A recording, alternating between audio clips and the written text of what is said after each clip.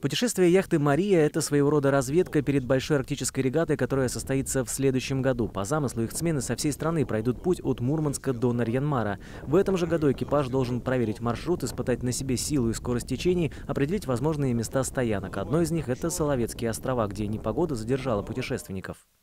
Мы находимся на причале у Соловецкого монастыря, стоим уже второй день, ну, если быть точным, даже уже третий. Вот, и э, ждем погоды, чтобы отправиться дальше в Беломорск. А сейчас у меня есть возможность немного рассказать вам об этом месте, где мы находимся. Почему я показываю этот вид? Потому что фактически это и есть Соловецкий монастырь, отображенный на 500-рублевой купюре. С другой стороны еще Архангельск. Мы там были э, до Мурманска, но сейчас есть возможность посмотреть одну из сторон 500-рублевки воочию. Мы стоим на замечательной набережной, на замечательном причале, который, как нам говорят, принадлежит монастырю. Его 4 года назад, когда я сюда заходил, не было. И э, могу сказать, что это, наверное, один из лучших причалов, который я видел по, э, на всем протяжении с э, экспедиции из Петербурга до Мурманска и обратно. Тут даже мы можем увидеть э, электро заправку, подключение электричества, которое нигде больше я не встречал на этом же всем протяжении нашего пути.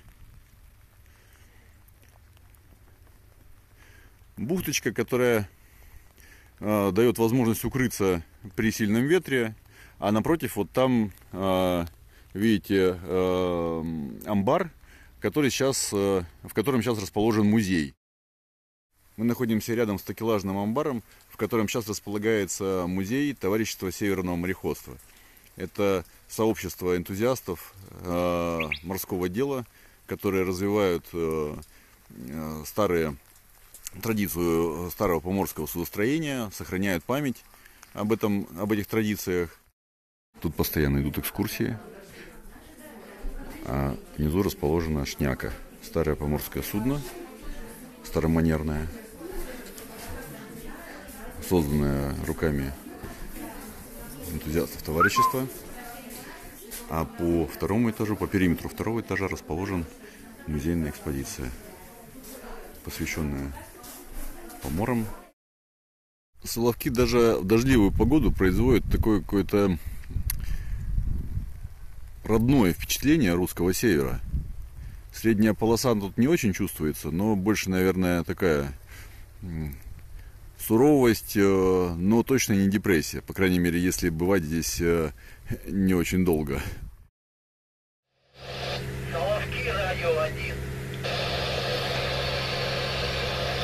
Мы готовимся отойти в сторону Беломорска. Как слышите прием?